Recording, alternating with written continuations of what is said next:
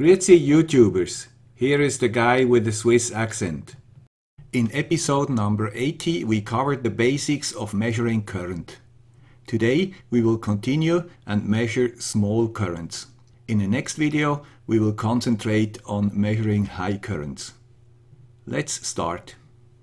For the first example we need the bench power supply and an Arduino Uno. I use the Uno with a TFT shield to later use it as a current meter and display our measurements. If we want to measure the current used by this Uno, we just connect our multimeter in between the power supply and the Arduino. As discussed in video number 80, we can do this on the low or on the high side. Let's first use the low side. If we do a low side current measurement, we connect the multimeter between the negative of the battery and the negative of the module. As expected, everything works fine and if the polarization of the multimeter is okay, we measure around 50 mA at 7 volts. But in many projects we want to measure the current with the Arduino itself because we want to use the results in our sketch. How can we do that? Measuring voltages was quite simple because the Arduinos usually have 8 analog inputs. So the obvious is to use one of these pins. So according the last video we have to replace the multimeter with a resistor and measure the voltage across this shunt. Then we can calculate the current and display it on the TFT. The sketch is simple and fast done. The only question is how we calculate the current if we have the reading of the analog pin. As usual, this is done using Ohm's law. Let's assume we want that we are able to measure a maximum of 500 mA. Then 500 mA has to equal 5 volts. For this case, the resistor has to be 10 ohms. This is truly not ideal because if our Arduino would use 500 mA, we would lose 5 volts across the resistor. This has two disadvantages. We would not have enough voltage to power the Arduino anymore, and the resistor would heat up. The power to dissipate can be calculated and in this case would be 2.5 watts. But anyway, because we have only small currents and the voltage regulator, we can live with the 10 ohms. Let's continue. Because Arduinos have a 10-bit ADC, they read 1024 with 5 volts on an analog pin. To calculate the current, we therefore has to use the following formula. Easy. As always, we do not want to destroy our Arduino. So we quickly check if everything is okay. The datasheet of the processor used says that we must not go below minus 0.5 or above 5.5 volts on any pin. We use our voltmeter to check and measure nearly 500 millivolt, as expected. But wait a minute. The voltage is negative. Why? Because the current flows from the Arduino back to the battery, the voltage is negative compared to ground of the Arduino but the analog to digital converter of the Arduino can only measure positive voltages. And if the current gets a little bigger, we even destroy our Uno. Not a good solution. Normally in this case we would just exchange the cable of our multimeter and get a positive reading. But as we learned in the last video, if we would do that with the Arduino we would shorten the shunt and always get a zero reading. But fortunately I have a very precise 16-bit ADC, the ADS1115. Let's check this one. It costed nearly as much as the whole Arduino, so it must be better than the built-in ADCs. But a short check of the datasheet shows that it has exactly the same problem. It is only usable for positive voltages. So I think we are stuck. As a last resort, we consult our Bible for electronics, purchased in one of the last mailbags. And really, we find a solution to use a simple operational amplifier or op-amp. Here they propose a general purpose LM358A. But because these op-amps are not optimized for our case, it needs some compensation circuitry to zero the reading if no current flows. Luckily we get much better suited op-amps for our purpose. If we use the tiny AD8028 op-amp, for example, we can get width of nearly half of the components. Why did I choose the AD8028? There are a few reasons. First, it can be used with a single supply voltage of 5 volts. The early op-amps were designed for split voltage and higher voltages of, for example, plus minus 12 volt, which means 24 volts in total. And our Arduino has only 5 volts power supply. Second, it is rail to rail, which means its output can go to both rails, 0 and 5 volts. Many op-amps can only go close to the rails, for example from 0.2 to 4.8 volts. And third, it is zero drift, which means that we can avoid the components to adjust the zero point. Because we have to use an op-amp to solve our problem of negative voltage, we can use it also as an amplifier of let's say a factor around 100.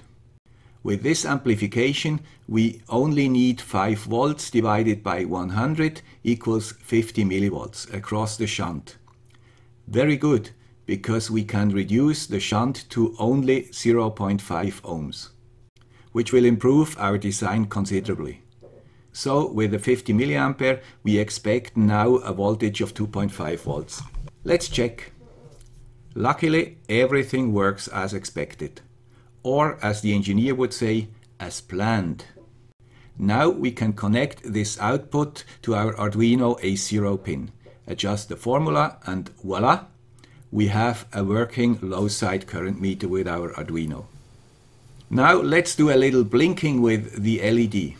Now the display starts to show unstable values.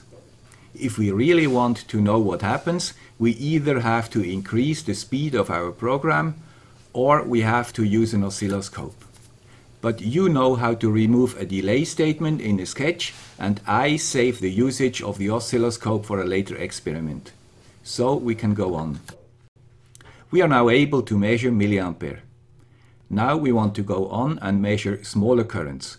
For example, I have a polar heart rate watch with two different sensors one with a proprietary transmission protocol and one with an additional Bluetooth transmission.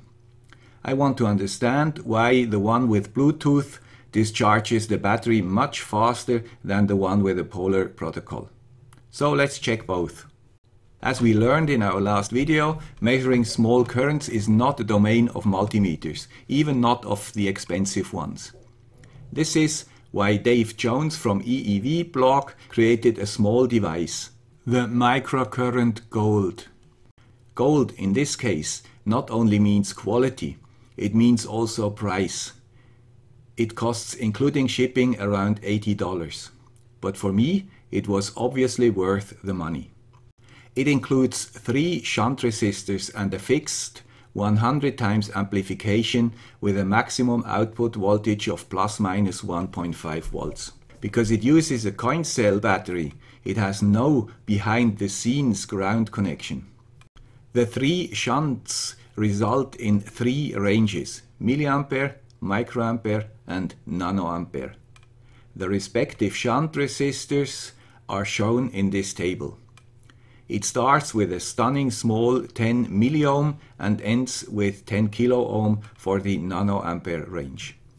So the maximum currents are plus minus 1.5 ampere in the first, plus minus 1.5 milliampere in the second, and plus minus 1.5 microampere in the most sensible range and the voltage drop is always only 15 millivolt. Please be aware that the ranges differ by a factor of 1000. This is completely different than in a cheap multimeter where your ranges differ usually only a factor of 10. I do not know if you can destroy anything if you select the wrong range, but it fooled me because in overload situations the output voltage starts to oscillate if you overload the device.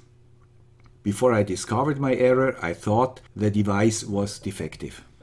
So we use the low side method and feed the polar pulse sensor with the same battery just removed from the case. The microcurrent is connected like a multimeter and because I suspect varying currents, I connect its output to my oscilloscope. We immediately see that the pulse sensor has lots of current spikes of 1.4 mA. They are short but they do not switch off immediately after the device is not used. The sensor should start when there is skin contact between the two poles and should sleep if this contact is no more there. After a while, the sensor enters real deep sleep and we have to switch the range of the microcurrent. Now we can see that it consumes a constant 1.2 microampere. Now let's compare this number with the sensor without Bluetooth. During activity, the peaks are only 0.45 mA. This is roughly one third of the Bluetooth sensor.